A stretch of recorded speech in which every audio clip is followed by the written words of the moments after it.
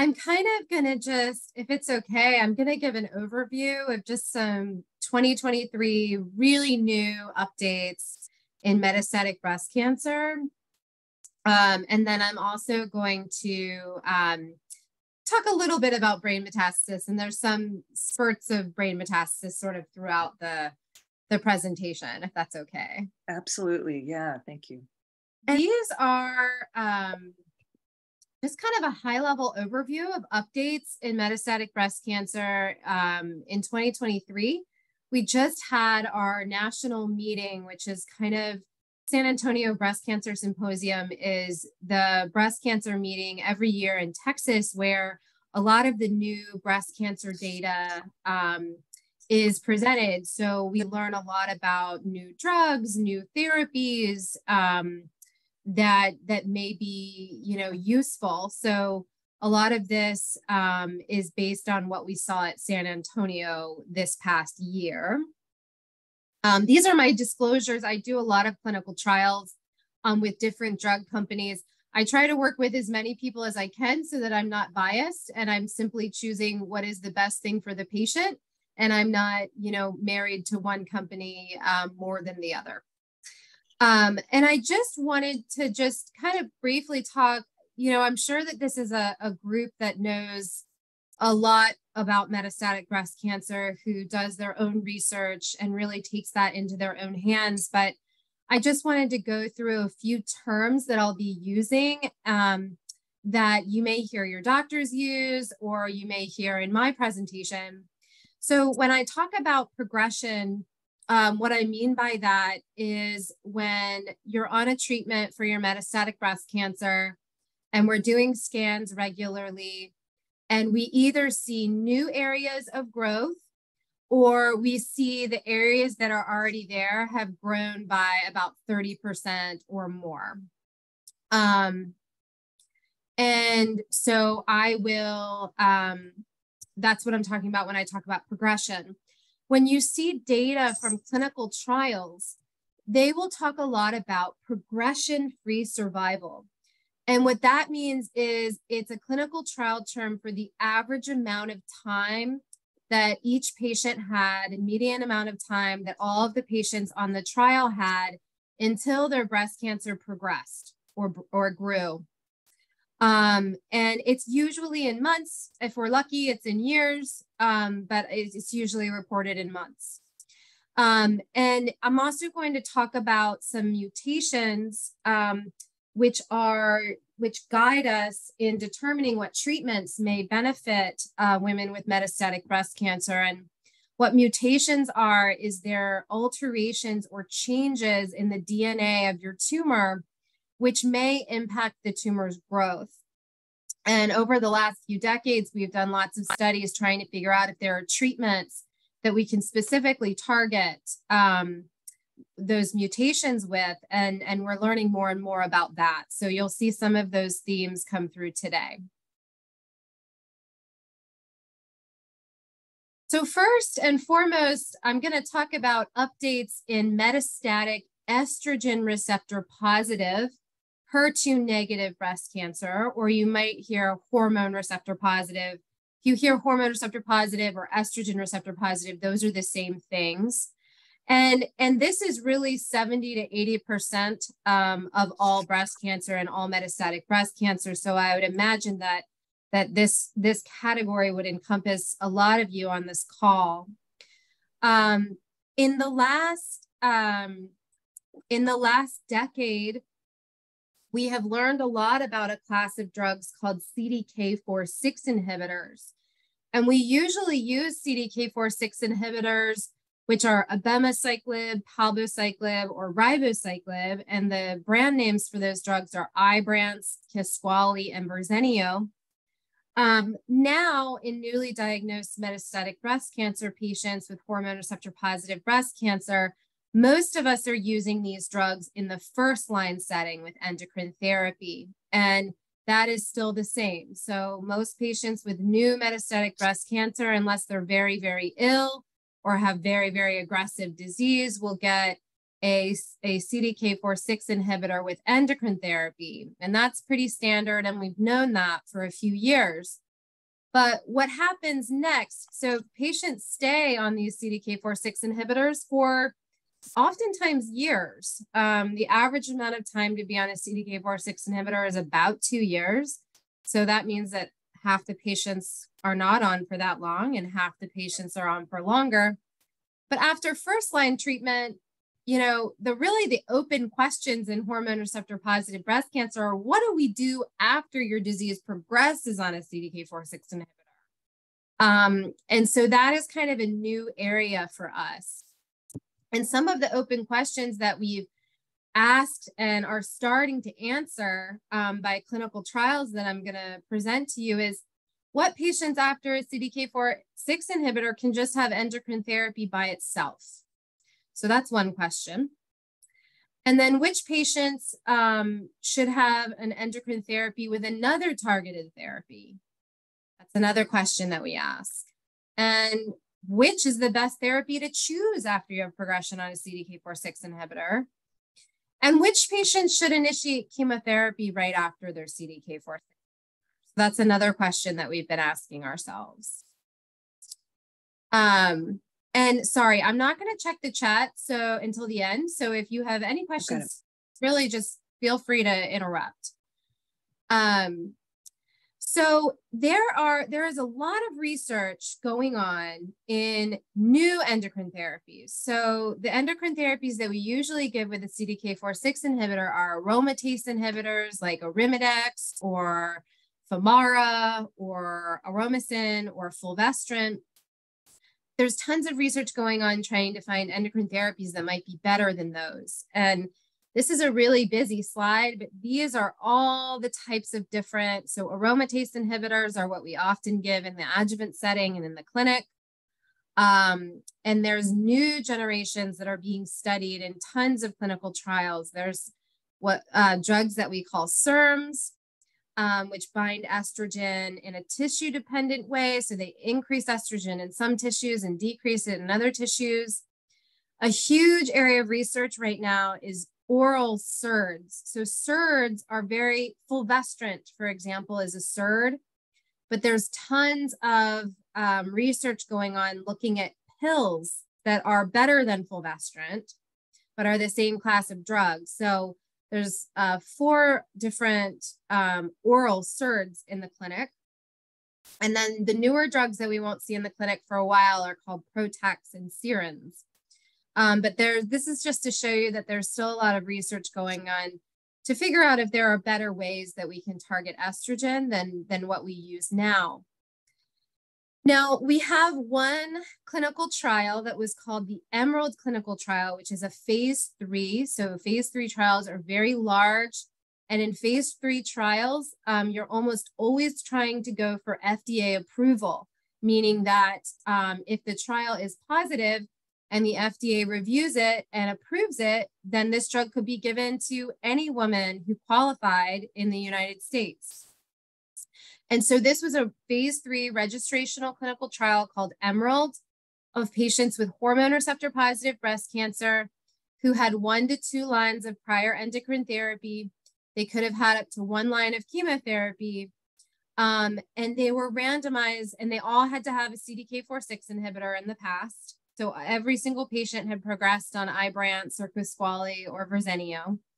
And they were randomized um, to either elacestrant, which is a new oral SERD, or investigator's choice um, endocrine therapy, which could have been fulvestrant or anastrozole, letrozole, or, or exemestane. And the primary endpoint was progression-free survival, so the amount of time until their cancer progressed in the overall population, but also progression-free survival in patients that had mutations in the estrogen gene, which is called ESR1.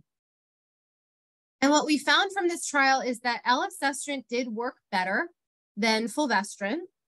Um, so about 25% of the patients were still on elacestrant at 12 months, whereas only 9% of the patients were still on fulvestrant um, at 12 months. And it was it was better um, when we looked at it statistically as well.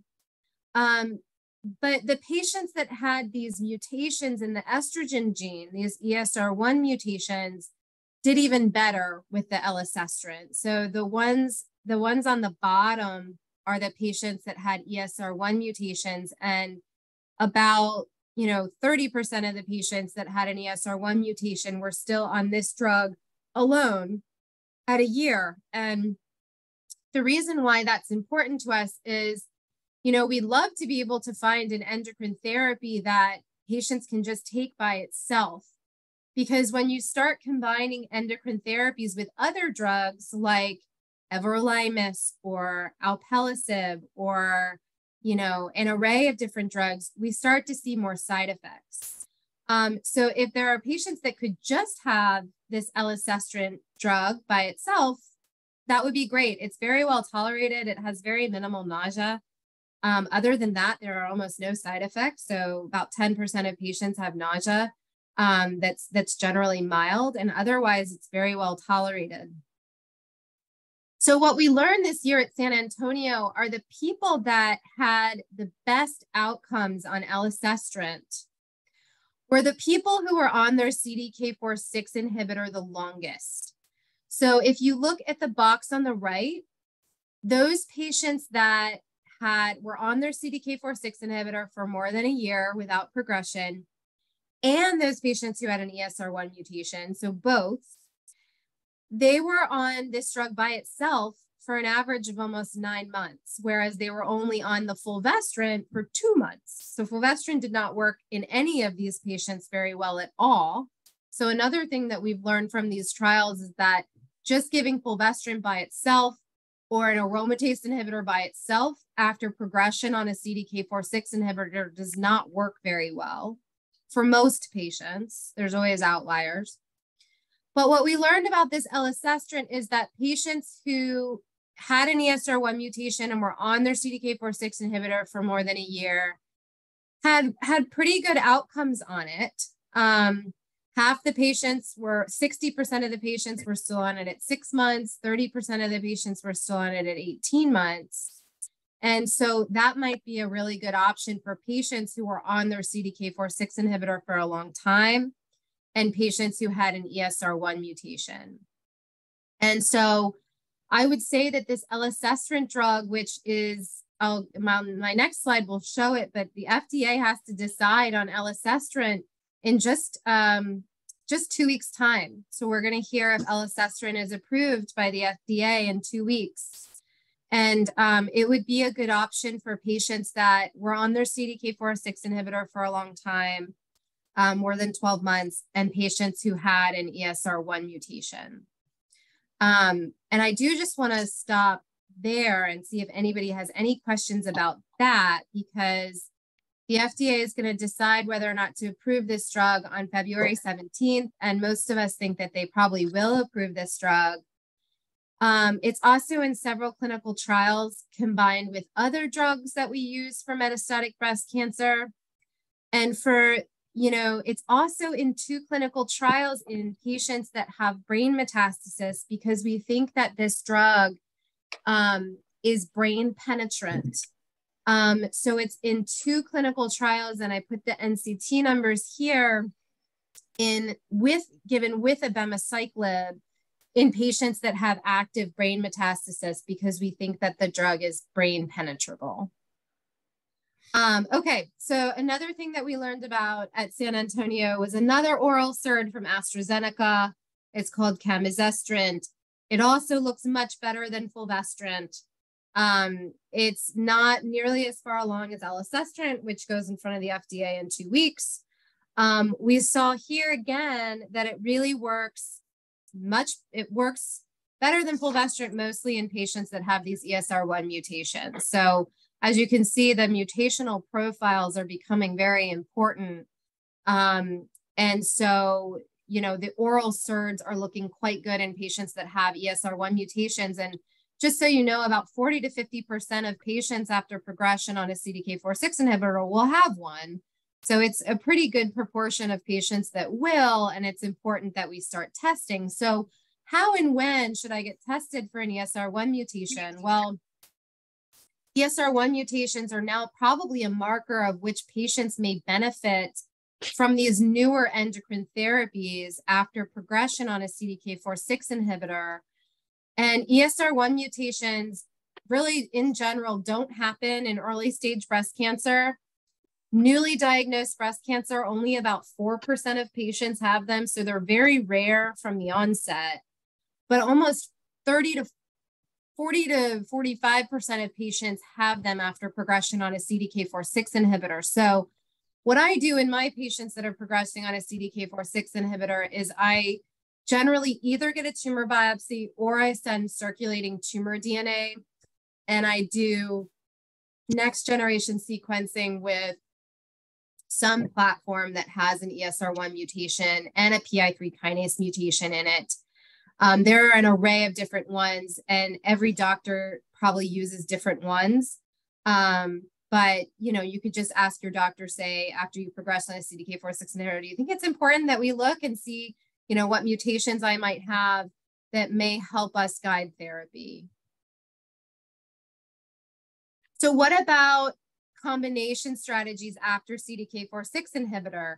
Should I continue Ibrance with a different endocrine therapy partner after I have progression on Ibrance? So, this question of should I continue a CDK4/6 inhibitor after progression on a CDK4/6 inhibitor has come up by a lot of people in the last five years. And we now have two clinical trials, at least with palbociclib, with Ibrance after Ibrance and Kisqali after Ibrance that are giving us a little bit of insight. So the PACE clinical trial was presented at San Antonio this year, and patients that had hormone receptor positive breast cancer that had progression on their CDK4/6 inhibitor were randomized to either fulvestrant by itself, fulvestrant plus Ibrance. So they had to be on an aromatase inhibitor with a CDK4/6 inhibitor, so, and then they either got fulvestrant, they got fulvestrant with Ibrance, or they got fulvestrant with Ibrance and an immunotherapy. And almost all of the patients had Ibrance. So all they did was they continued their Ibrance, but they switched the endocrine therapy to fulvestrant. Sadly, we saw no benefit at all um, in continuing palbociclib with fulvestrant versus continuing fulvestrant alone. So what this told us is once you progress on Ibrance, we need to stop it. We should not continue it with another endocrine therapy. Um, the immunotherapy data was intriguing. The patients that got immunotherapy did a little bit better. It was a really small study. So this is something that would need to be repeated in larger studies but it was interesting and, and intriguing. And I think we'll see a lot more immunotherapy studies because of this. But what about if you progress on Ibrance and your doctor decides to switch you to Kis, uh, to Kisqali, so which is ribociclib. So this is the results of the maintain study, which is ribociclib after progression on palbociclib. And what we saw was marginal benefits from continuing ribociclib over endocrine therapy alone. So the patients on the right in the maintain study that got fulvestrant after progression on Ibrance had a median progression free survival of 2.8 months, which is not very good. Whereas if they added ribociclib to that, it was more like five and a half months. So there was very trivial benefits of continuing uh, ribociclib after palbociclib, and it's personally not something that I'm doing in my practice. Something that I'm more excited about is actually abemaciclib after progression on um, after progression on Kisqali or um, or Ibrance. So this is the results of the phase two Elaine 2 study which was abemaciclib plus a new drug called lasofoxifene in patients who had ESR1 mutant hormone receptor positive breast cancer after progression on Ibrance. And the median progression free survival here was more than a year.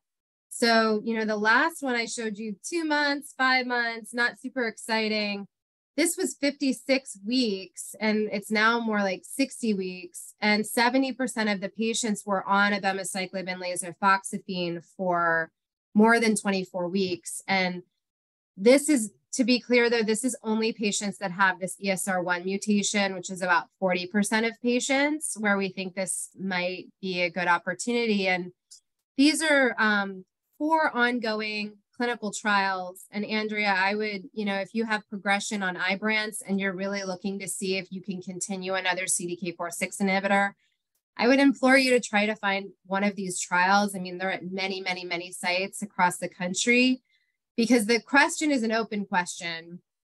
Personally, I think that abemaciclib is going to be the best uh, CDK4/6 inhibitor after progression on Ibrance. And there's three phase three, so registrational phase three going for FDA approval, clinical trials that I've noted here that are looking at abemaciclib after uh, progression on Ibrance. Um, we're opening Elaine 3 at Dana Farber soon. This is um, patients that have ESR1 mutations, um, the one that had a progression free survival of 56 weeks that I showed you. Post Monarch, we have open at Dana Farber and it's open at many, many sites. Um, and Ember 3 is also another study with um, Eli Lilly's oral SERD with abemaciclib. They're enrolling 800 patients. So all very large trials that are trying to answer this question.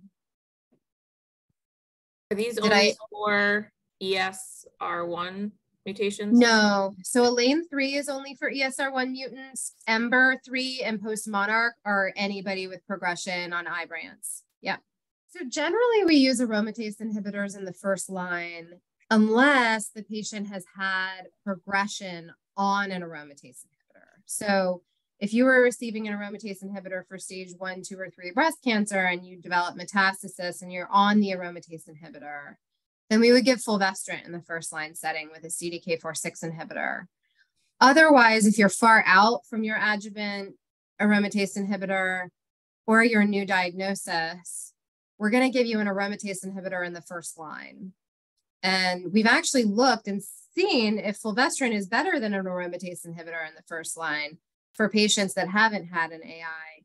And the answer is actually that the AI is better than fulvestrant in the first line. Um, if you've never had an AI or you've it's been a long time since you've had your AI. Um, so fulvestrant is the one that we use after progression on an aromatase inhibitor. And so it's the standard kind of second line um, endocrine therapy. And we're now developing many more drugs that are looking better than fulvestrant, which is which is good. And abemaciclib is Verzenio, yes. Would it be helpful if I use brand names, everybody? It doesn't, I'll just try to use both. Um, so another question that we ask ourselves in hormone receptor positive breast cancer is after progression on a CDK4/6 inhibitor is, does the patient have a mutation in PI3, PIK3CA? So this is another thing that can be tested on your tumor or in your blood circulating tumor DNA. Um, and about 40% of patients will have a PI3 kinase mutation. We have a drug that is specifically approved in patients with PI3 kinase mutations, and it's called Piqray or alpelisib. Um, and some patients do fine on that drug, but most patients have a lot of really bad side effects on that drug. Um, I don't know if anybody in the group has, but I can tell you that it's as a doctor, it's not particularly easy to give. There's an 80% incidence of, of diabetes, there's rash, there's um, there's all kinds of terrible things, and, and we're looking for better drugs. So this year, um, at San Antonio just really a month ago. We had um, this clinical trial result, which was the phase three Capitello 291 clinical trial, which took patients that had metastatic breast cancer that was hormone receptor positive, HER2 negative. They could have had up to two lines of prior endocrine therapy. They could have had up to one line of chemotherapy most of the patients had a prior CDK4/6 inhibitor, so about 70% of them did. None of them had had prior fulvestrant um, or everolimus, and they couldn't have bad diabetes, that they could have pre-diabetes or early diabetes. And they randomized them to a new drug called capivasertib, which is an AKT inhibitor. which targets the same pathway as PI3 kinase, um, with fulvestrant or placebo plus fulvestrant. And the primary endpoint was progression free survival in the overall population and patients that had mutations in either PI3 kinase, AKT, or PTEN. And essentially, patients that got capivasertib with fulvestrant did twice as had progression free survival twice as long as patients that just got fulvestrant by itself. You can see patients that got fulvestrant by itself had a median progression free survival of only about three and a half months. Whereas if they got capivasertib, it was more like seven and a half months. So kind of a doubling. Um, so, um, and also patients that had mutations in any of this pathway also had a, a great benefit um, of median progression-free survival, about 7.3 months. And you know, it, it's looking like it's probably improving the amount of time that that patients live as well, but that data is still pending. Now, one of my passions and one of the things that I think about a lot is, okay, great. So it it stopped your breast cancer from progressing for a couple more months, but at what cost to you? What are the side effects? Um, and and that's always something that you should be asking your doctor about. Is the juice worth the squeeze? Is three to seven months worth the side effects uh, essentially? Um, and you know this drug was better tolerated than Piqray i will say. You know Piqray is the one that has you know the diabetes the rash um, the the kidney issues all of that so, so those things happen to a much less degree with this drug. Um, the one thing with this drug is that there is manageable diarrhea. So when this is approved, I'll be talking to my patients about, you know, taking Imodium as soon as you have diarrhea and all of that. Um, but a lot of patients had, there were certainly some patients that that had diarrhea um, with this regimen. And this regimen is interesting. You only it's kind of a Monday through Thursday drug, and you don't take it Friday, Saturday, or Sunday. So you take it four days on and three days off. Um, and this will go to the FDA sometime in the next six to 12 months, and, and we'll find out about approval. So these are some things that I'm thinking about after my patients have progression on a CDK4/6 inhibitor. I want to know about what are the mutations that are making up their breast cancer? Do they have a germline BRCA mutation? So are they a patient that, that mm. has a hereditary BRCA mutation? Do they have an ESR1 mutation? Do they have a PI3 kinase mutation? Um, I also want to know about their other medical problems. Do they have diabetes? Do they have a history of pneumonitis, heart history? And then what's also become more important is knowing how long they were on their CDK4/6 inhibitor. So um, you know, were they on their CDK4/6 inhibitor for a long time, which would mean that maybe they'll still benefit from other endocrine therapies? Or were they on it for a really short time, which makes us think that maybe they wouldn't benefit from other endocrine therapies? And then, probably the most important point is what are my patients' goals? Um, you know, what side effects are they okay with and are they not okay with? Um, and and really having that discussion about what are the options together and you know what are the options and and what's the most appealing to me for instance you know sometimes when we're trying to decide between something like Piqray and chemotherapy a lot of my patients choose chemotherapy after I run down all the side effects with them, um, especially if it's Xeloda, which is oral and doesn't have hair loss. So um, it's it's very much a patient's choice as well, I would say. So this is kind of my algorithm for how I'll be thinking about you know second line choices once we have elacestrant and capivasertib approval. Um, and you know these would be the options that I'd be talking to my patients about. So another really um, new area in drug development and new treatments for patients with metastatic breast cancer are a class of drugs called antibody drug conjugates, which are rather new. Um, and what these are is it's it's very targeted chemotherapy. So it's a molecule that has a antibody and it's an antibody to something. In breast cancer, it's generally an antibody to either HER2 or to uh, a protein called TROP2. So there's an antibody, and then it's attached by a linker to a payload of chemotherapy.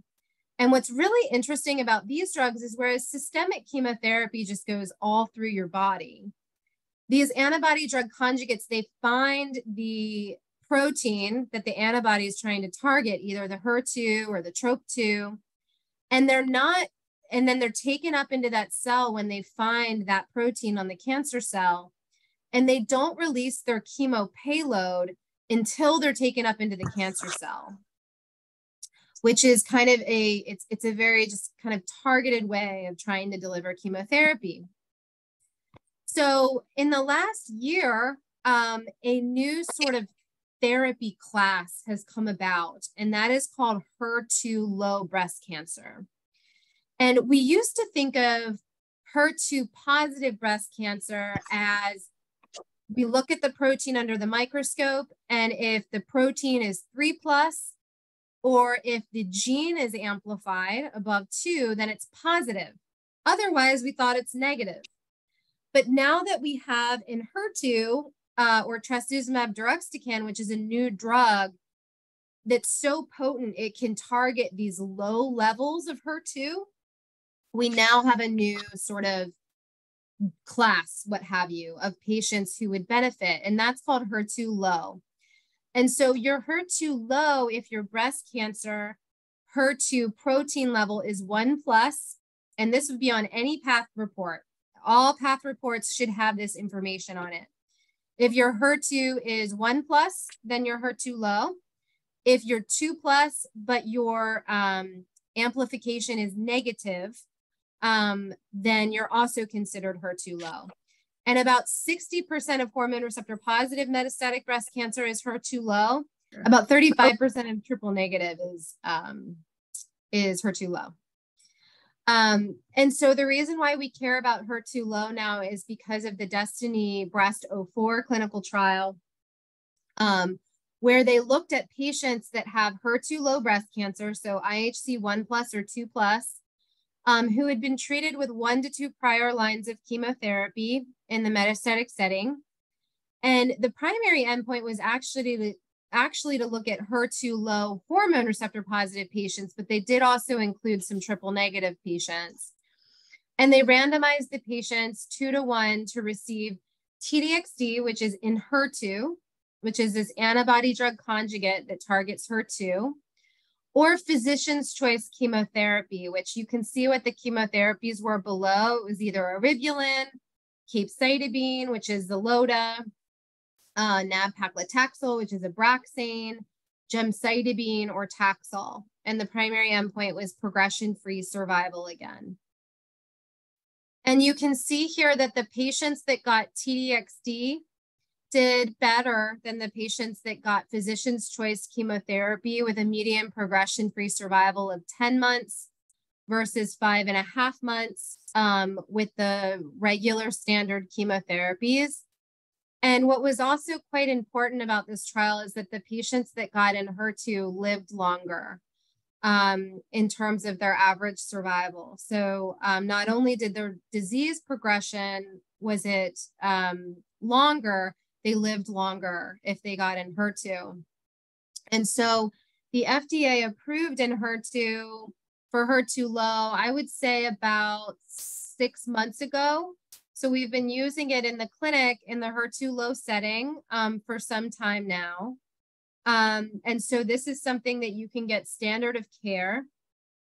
Um, I generally give this, um, I, I give this, you know, similar to the trial design. If the patient needs to at least have had one line of chemotherapy in the metastatic setting, and then I would give them this drug.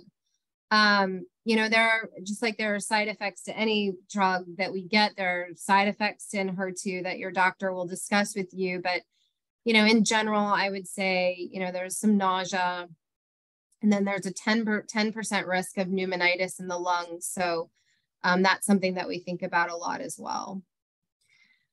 And then there's another antibody drug conjugate called sacituzumab or Trodelvy. So Trodelvy is the brand name.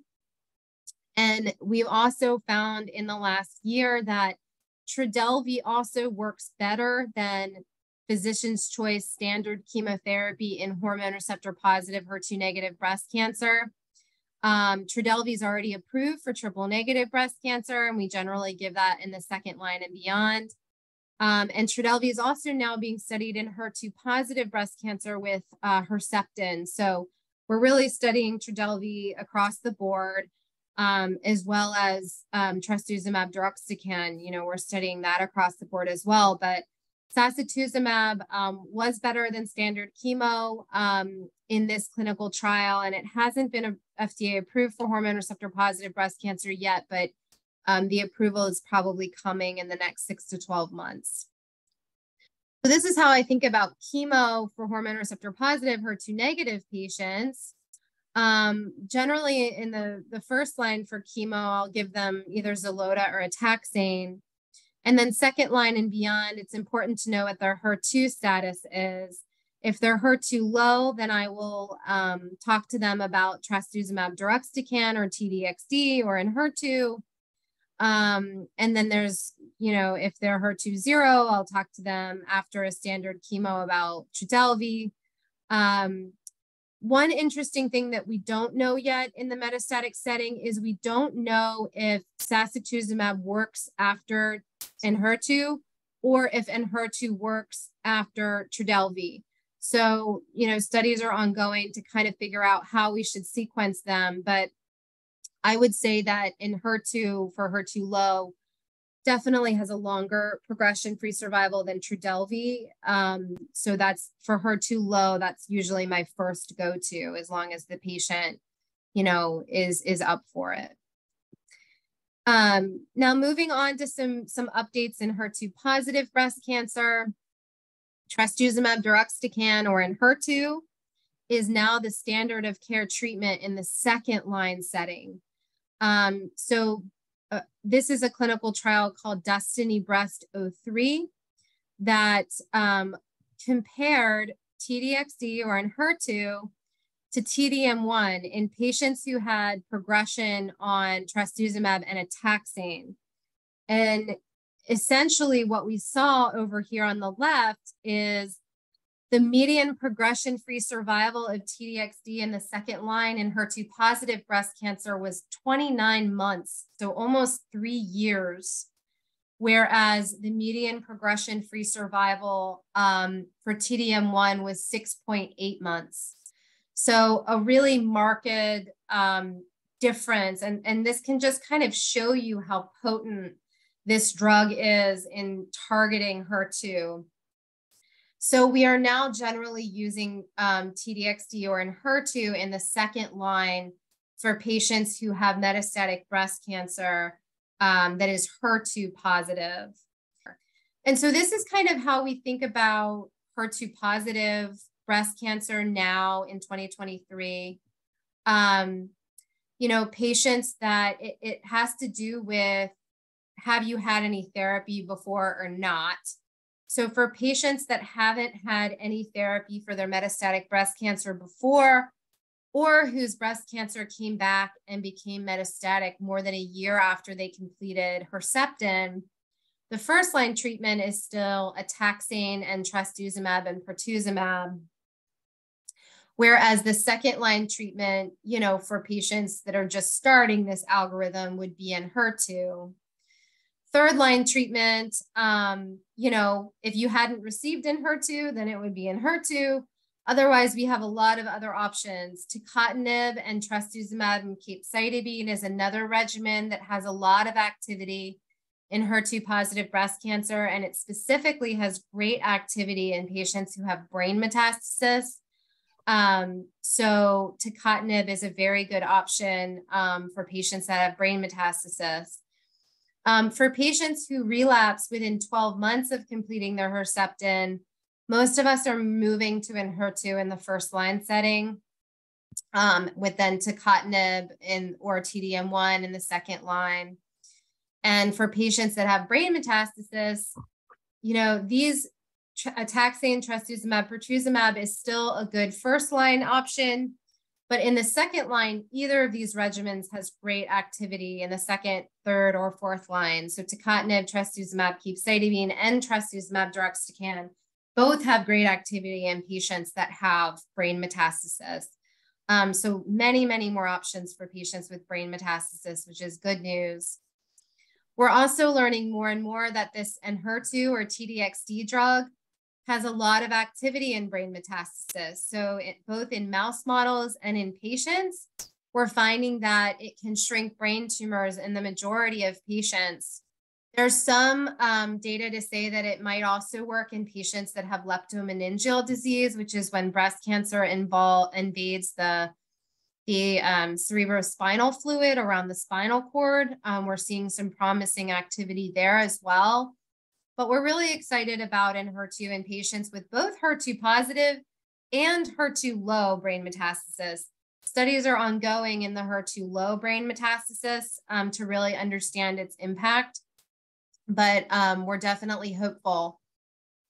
Um, and then in terms of antibody drug conjugates, there's a lot more that are being studied. So we talked about trastuzumab deruxtecan or Enhertu. We talked a little bit about Trodelvy these are just some other, these are some other ones that are in development, um, which is really exciting in clinical trials. So hopefully more options coming down the line. And then I did just want to add a few slides on brain metastasis in general. Um, when a patient, um, whether or not you develop brain metastasis is kind of, your risk of that is dependent on um, the type of breast cancer that you have. So for hormone receptor positive patients, the risk is around 15%. For HER2 positive breast cancer patients, the risk is around 30 to 40%. For triple negative breast cancer patients, the risk is around 30 to 40%. Um, and so when we identify a new brain metastasis, usually it's because the patient is telling us they're having symptoms, they're having headaches, vision changes, you know, an array of neurological things that your doctor might suggest ordering a brain MRI. And usually, the first treatment, if you have um, a limited number of brain metastasis, you know, less than 10 or so, um, it really is up to the radiation oncologist, but usually radiation will be the first step. Um, there are caveats to all of this, and there's uh, treating brain metastasis is very nuanced. And in general, you should see a medical oncologist and a radiation oncologist. Um, the only patients that go for surgery are the ones that have really big brain metastasis, or maybe they just have one. Um, and and they, they might be considered for resection, um, but it's pretty rare to do um, surgery on the brain. As you can imagine, it's a a pretty invasive procedure. And then doing some sort of systemic treatment after your brain metastasis um, is treated with radiation, we know is very important. We know that going on systemic therapy after you've had a brain metastasis does improve both the time until your next brain metastasis and survival for most patients. Um, and these are some of the, the treatments, you know, the treatment for patients with um, brain metastasis is really still dependent on the subtype of breast cancer that you have. So whether or not you have estrogen positive breast cancer or HER2 positive or triple negative. And it depends on what you've had before, an array of biomarkers. But I, I did just want to note that there are many options for patients that do have brain metastasis um, and also many clinical trials that are ongoing.